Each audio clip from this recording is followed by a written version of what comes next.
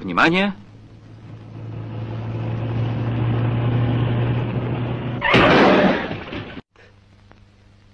Разбито в дребезги ветровое стекло. Сорвана с плеч голова. Чья? Видимо, манекена водителя.